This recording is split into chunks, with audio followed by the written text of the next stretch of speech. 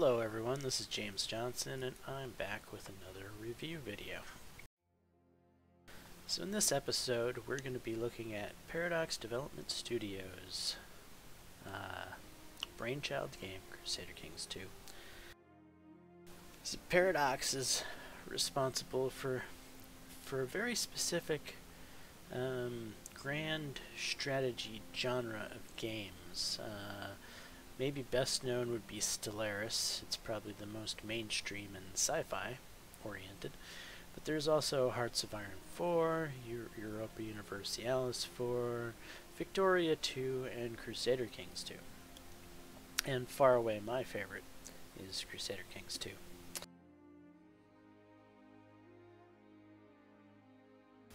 I have literally, uh, what is it, like something like 3,000 hours in Crusader Kings 2. And I just can't get enough of this game.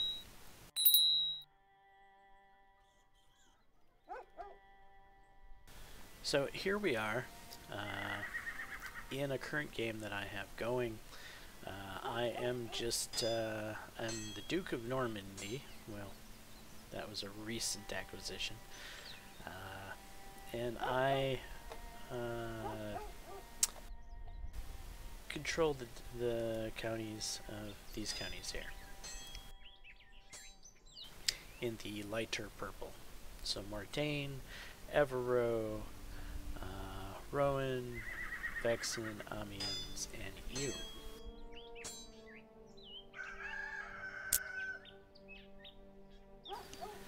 But this isn't a let's play, right? This is a review. What is Crusader Kings 2? Well, it's grand strategy. Um, but that's not really a very good uh, description of Crusader Kings 2. To me, Crusader Kings 2 is, well, it's transcended the grand strategy genre, if you will. It's actually the grand strategy roleplay genre is Crusader Kings 2.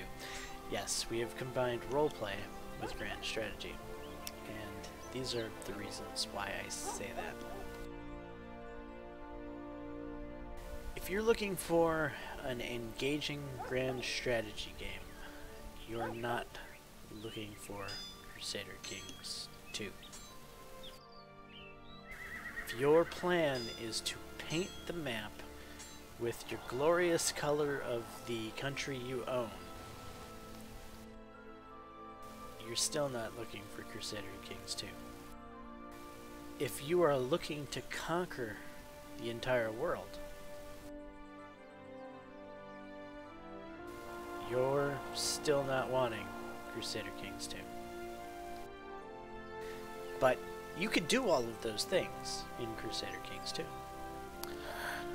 Um, why would I say there's other games more suited for you? It's because those things are not particularly challenging in Crusader Kings 2. This game really isn't geared around world conquest, but it's a grand strategy game. What do you mean it's not geared around world conquest? Because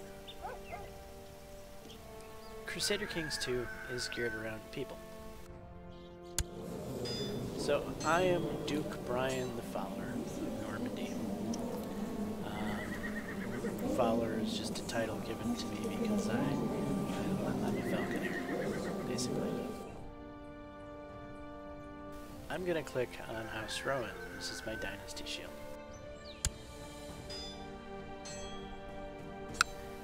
We're going to look at my family history since I've started this game. I began as Count Bagolf of Rouen. That's my grandfather, right? That was the first character I played as. A mere count. And then I played as Duke Sulfur of Normandy. That was my father. And ultimately now, I'm Duke Brian the Fowler.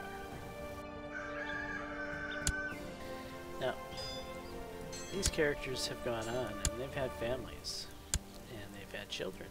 And this, this is what this game is about. This is about the dynasty of the House Rowan. I'm just happen to be one of the characters within that dynasty. I'm a rather important character, if you will. I am the Duke of Normandy. As you can see, my brother is the Marshal of Normandy, so he's the person that works for me.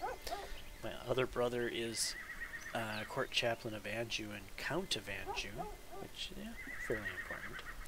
My sister Elizabeth is, well, she's just, uh, just a person, nothing special. Um, see, anyone else? Uh, my nephew here, Tancred, is uh, the heir to the county of Anjou, so he's he's going to be a count someday. Pretty cool. Um, uh, this nephew here is he's the heir to a barony barony of Cholet, so he's he's going to be a baron someday. Um, but yeah, um, this is kind of the entire point of Crusader Kings is to grow your dynasty.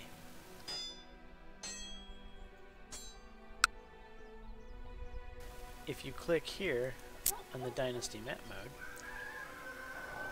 you will see dynasties currently that are, well, at the head of their respective uh, countries or empires.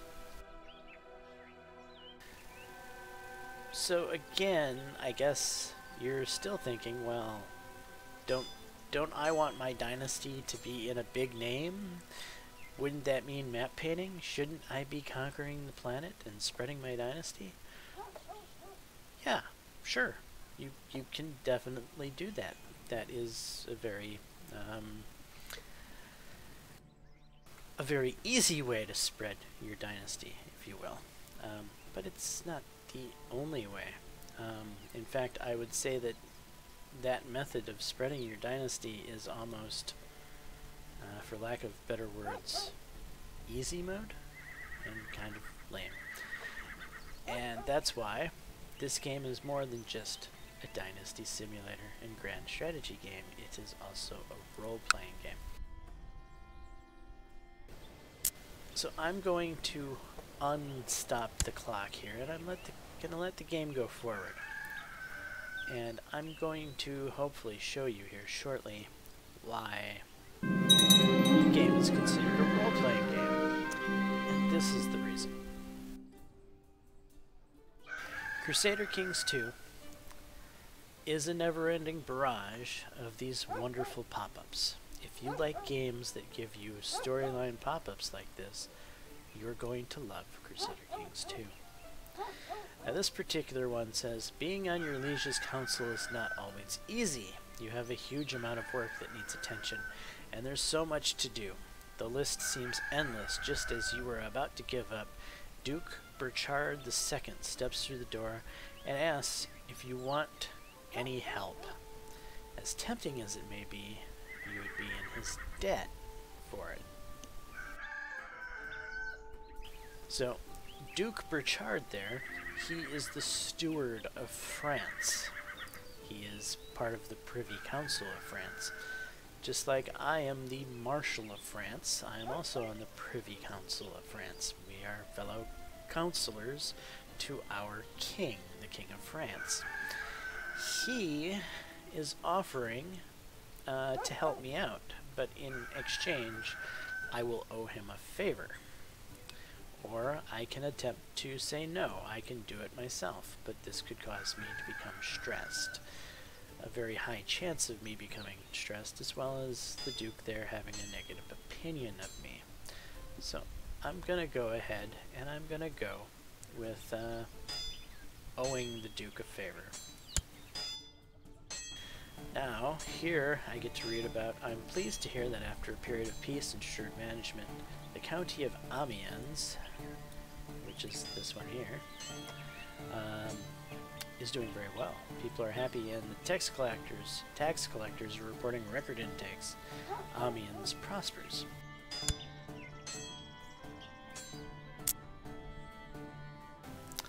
so yeah, um, one of my my counties is getting prosperous. So I'm just a duke. I am not the head of my country. I am just a, a mere duke uh, within the kind of butchered country of France, if you will. My Chancellor, Mayor Meinhard, has improved relations with Bishop Rotberg Bovis. Yay! So I have better relations with some random mayor. The county of Amiens has gained prosperity. Good. We'll continue to let the time go. Um, right here it says that my my king is currently at war, which means I'm indirectly at war with uh, the king of Austrasia, which are these gray guys here.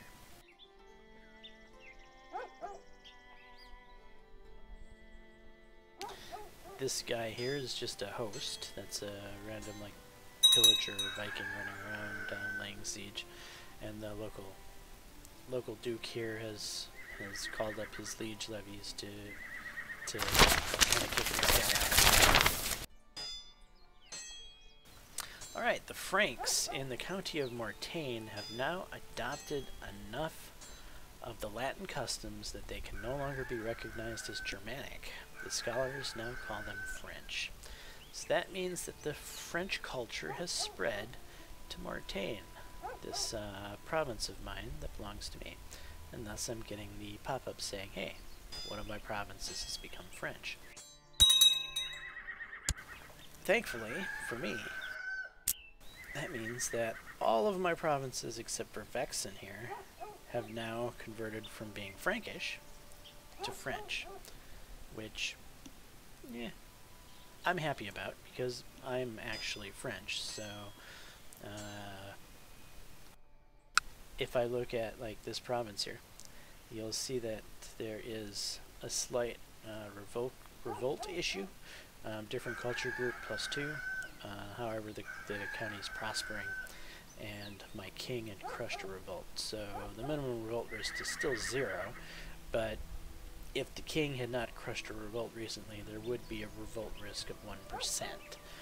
Uh, because that province that I own is slightly different culture.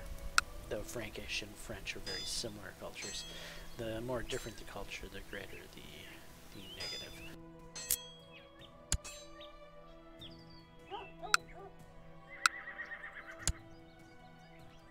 And again, this is this is certainly starting to turn into more of a let's play than a review. So, what type of player? I guess the thing that you must ask yourself is what kind of a of a game player are you? Are you a game player that likes action-packed first-person shooters? If so, Crusader Kings probably is not going to be your cup of tea. However, if you're a person that grew up reading books, well, maybe I'm talking to the wrong generation, but if you ever read a book called a Choose Your Own Adventure book, where uh, you could you could make a choice on a certain page, and it would say turn to page something or another, and you turn to page something or another to continue your story, instead of turning to a different page to continue your story, uh, then maybe you might like Crusader Kings 2. It's got RPG-like elements in that you make choices for your for your person. And your person happens to be the leader of uh, a feudal lord, so you're uh, in proxy making choices for the the feudal kingdom that you control, or tracts of land. You could just be a count, so you could only be making a choice for a county, or you could be a duke, so you could be making the choice for a duchy, you could be a king, so on and so forth. So right now, dear Brian, I'd like to invite you to join me for a small gathering of friends to dine, drink, and forget about the world outside of a outside for a little while. Please be prepared to reserve a few days for this in case we get truly into the spirits of the proceedings. Duke, Gadalka II of Flanders. So, the Duke of Flanders wants me to come and carouse with him. But, you see, the Duke of Flanders, he's a smelly Dutch. And us French people, well, we're more classy than to stoop to associating with Dutch drunkards who are slothful and hedonistic. Not to mention, yeah, not my type of company. I'm sorry. Unfortunately, I just can't make this party.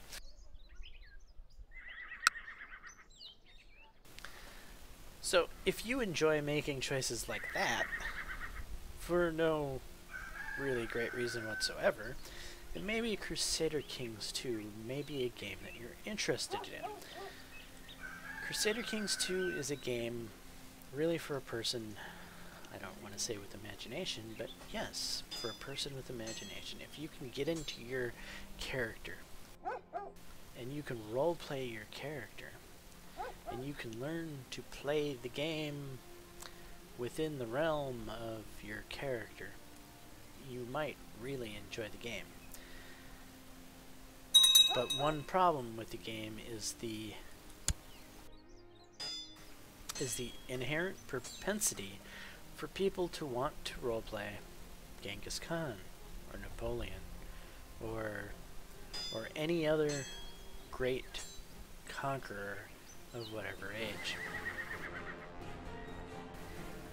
You can and go you can go forth and conquer the world fairly easily. Uh, the game doesn't have a lot of propensity to stop you. Uh, the player can snowball and get out of control without too much of an issue. So I, I just want to point this out. I'm just the Duke of Normandy. I'm I'm not the king, right? If we look at my my power, I can call up 4,286 troops, of which are actually mine, my troops, specifically, not from my vassal, but just for me, myself, and I. 4,100 of those are me.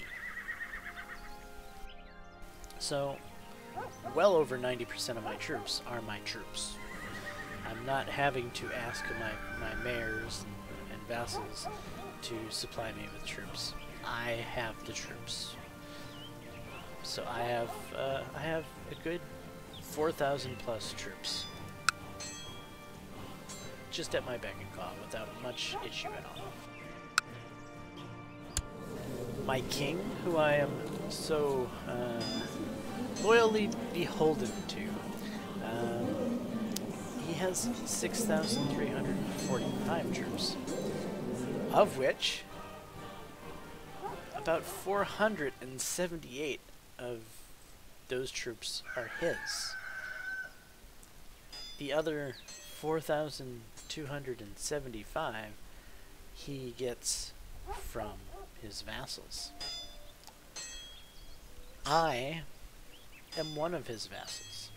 So if I were to declare war upon my king, or, you know, uh, demanded dependence from my king, you'd see that uh, my strength vastly outmatches my king. I could very easily win my independence if I so chose to do so. But where's the fun in that? I mean, I I could easily become king of France right now if I wanted to, but I don't. Because I know a secret about this game. And the secret about this game is the stronger you become. The, the more kingly or the more of an emperor or whatever you might be, the larger tracts of land you own, the more money and more power you have. Yes, you can have a few more vassals, and Yes, you have a few more vassals that you need to make happy, but that's not that hard. Uh, people people act like managing a giant empire is, is such a challenging thing, and really it's not if you understand the mechanics of the game. if you understand the mechanics of Crusader Kings 2, you can easily micromanage uh, an empire that spans the entire world without really breaking a sweat. It, it's rather simple to to uh, to micromanage that type of a situation. Not to mention, it's very rare that all of your vassals are going to revolt at the same time to cause you even any type of, of uh, possible uh, threat to your rule. So what I'm saying is becoming a, the, the great emperor or owner of the entire world, it's not really a challenging thing. Um, so the best way to play Crusader Kings 2, and I'm, I'm not saying there's a right way. There's so many different ways to play Crusader Kings 2. You can paint the map if that's your thing. Go right ahead. But if you're a role player, if you're somebody who enjoys creativity and just and just, you know, going with the flow of the game, then you may not want to you may want to keep your conquering desires in check. You may want to try to be a loyal duke. You might want to try to stay a duke for as long as possible. You you want to put a check on your power because it's so easy for you as the player to steamroll inside of this game that the game can be far more interesting when you keep yourself a smaller person. So with that being said, um, th that's, that's just some tips, I guess, tips and tricks to Crusader Kings 2 if you do decide that this is a game for you. However, this is supposed to be a review video, correct? Um, and I have really not done much in the way of reviewing. So, let's get back to that, shall we? From a grand strategy point of view, Crusader Kings 2 may be the worst grand strategy game inside of the Paradox stables. Um, if you want grand strategy, uh, Europa Universalis 4 is the game to play. Europa 4 is has got such better AI, um, such better AI for the purposes of trying to conquer the world and to put checks on you conquering the world. Europa Universalis 4 is a far more interesting game for the person who wants to conquer the world and have some sort of challenge behind it. So, if you're wanting Crusader Kings 2 for a challenging grand strategy game, well, it fails to deliver. If you're wanting Crusader Kings 2 for a hybrid of a role-play game and a grand strategy game, then this game will deliver. If you're wanting an action-packed game, Crusader Kings 2 is not going to deliver. If you're wanting a game that is going to stretch your imagination, Crusader Kings will deliver. So, ultimately, this is not a game that's for everyone. But is it a good game that's worth its money for the person that it is for? Oh, it is most definitely. If if you want to consider games as being uh, valued from a price tag to hours played standpoint, this may be the best game I've ever played, as as I don't know another game that I have a better cost to hour ratio in. Crusader Kings 2 has more game hours for me than than any other game that's ever existed. I've I've played no game more than I've played Crusader Kings 2. That's an impressive stat in and of itself. I oftentimes I recommend people when they're looking at Steam reviews to look at how many hours the person has played the game. when you see all of these negative reviews, has the game been played for five, ten hours? When you see all of these positive reviews, has the game been played for five to ten hours? And then when you find games that are, you know, wildly positive, do are the reviewers that are reviewing giving the positive reviews? Are they in the 50 hour ballpark? Are they in the 100 hour ballpark? The 500 hour ballpark? The thousands of hour ballpark? You're not going to find many games on steam like crusader kings 2 where the fan base within the game reviewing the game is going to have thousands of hours as the normal within those reviews. So when you look at a game and you see so much fan fanboyism with so many hours, you know the game has to be doing something right to keep people playing for that length of time.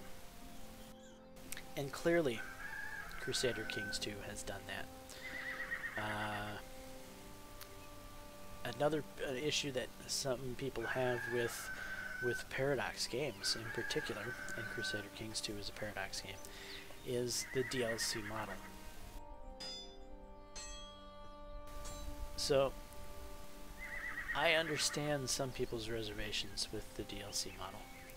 Um, I've firsthand seen the DLC model done completely and horribly wrong, uh, especially with EA and like The Sims. But Paradox, Paradox is a is a company that does the DLC model correctly. And the reason Crusader Kings 2 is is the game that it is today is because of the DLC model. Um, I own every major DLC that's ever come out for the game. Did I buy them at one time? No. Did I get them when they were on sale? One at a time? Yeah. I always laugh when I read these these uh, criticisms of the game saying I'm not going to spend $180 for this game. Well, I wouldn't either. Who would? And it seems the the common uh, the common misconception is people believe that they need to get every DLC that the game has straight out of the box you don't.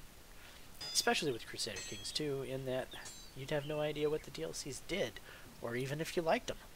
Because you wouldn't know what the base vanilla game comes with compared to the DLC. And so, I think that's a horrible idea. I think it's a horrible idea to buy Crusader Kings 2 with all of the DLCs straight out of the box. Crusader Kings 2 without any DLCs is an amazingly awesome game. Um, if there is a DLC that I would say to get straight out of the box, it would be Way of Life. Way of Life is hands down the single greatest DLC that Paradox has ever created, and it enhances any gameplay experience, no matter if you're playing Vikings, Christians, uh, Muslims, uh, Ashkenazi, uh, whoever you're playing as. The Way of Life expansion is our DLC is just, it, it enhances every gameplay. Uh, and the way of life, it mainly gives you more of these pop-ups that I tell you that I like. These these these pop-ups that come up on the screen. That's why I play Crusader Kings 2. And you're like, what? You play Crusader Kings 2 for the pop-ups? Surely you've read all the pop-ups uh, a thousand times over. And I'm going to tell you, I have 3,000 plus hours in this game, and I still see new events. Did I just blow your mind? I may have just blown your mind, didn't I? 3,000 plus hours, and I have not seen all of the pop-ups in this game. I am still yet to have a character become an immortal. I know it exists. I know you can do it. I've you know, I've been lucky to have some of the more rare events happen in my gameplays that, like, uh, becoming a lunatic and, and having Glitterhoof as my Chancellor. That's always a fun event. Um, I've been a werewolf. I've uh, I've given birth to the the the the most evil child that ever existed. I mean, I've I've had a lot of interesting events that have happened, but I'm still yet to become immortal. Um, and there's so many other rare events like that that, well, you have to have a particular bowl of soup in your game for that event to even trigger, and even then, it's it's small percentage based. So just because you might have the the things to trigger it, it still you know will only trigger one percent of the time. So Crusader Kings 2 always has new stuff around the corner, even though I've played it 3,000 hours and that's one of the things I love about it. No game plays out the same. Every game plays out differently. Uh, the you know the world unfolds differently in every match, and that's always interesting to see. Like in this particular uh, unfolding, we have some rather strong uh, Vikings going on in Denmark and Saxony. Um, this is 1848, and we have a lot of Saxon land. Usually the Saxons get crushed uh, uh, long before this. And Denmark is, is much more unison than I've seen typically happening at this point in time. Uh, you've got a Pictland that's starting to control a lot of the main areas of, of the British Isles, which I've seen once or twice, but you know, that's not common either. Um, so it's always interesting to see things just kind of unfold differently. Um, this dynasty here, controlling controlling the uh, the Iberian Peninsula, the the Muslims here. This is not the normal dynasty. Uh,